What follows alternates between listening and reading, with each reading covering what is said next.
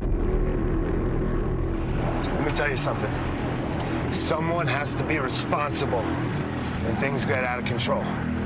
So I will be responsible. People think they know what I'm about.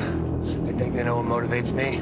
They don't know anything. I have a dream of a land of opportunity where people come to AEW and they can achieve anything they want. They can be the best version of themselves they can be. Wrestling gave me everything I have in the world. I want that for other people.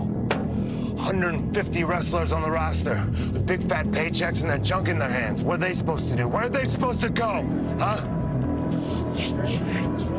I hate what AEW has become.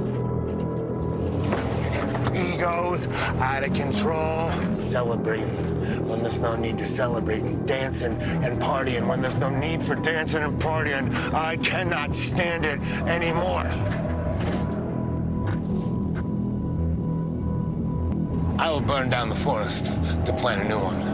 I'm not sentimental. I will do what has to be done. We will do what has to be done. We can see a better future, and we will make it happen.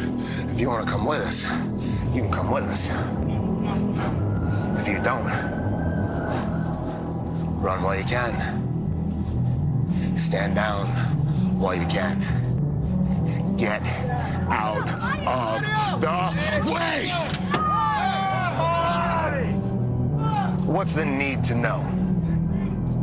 For those in AEW, what's the need to know? What is the new paradigm? It's very simple. You work for me now.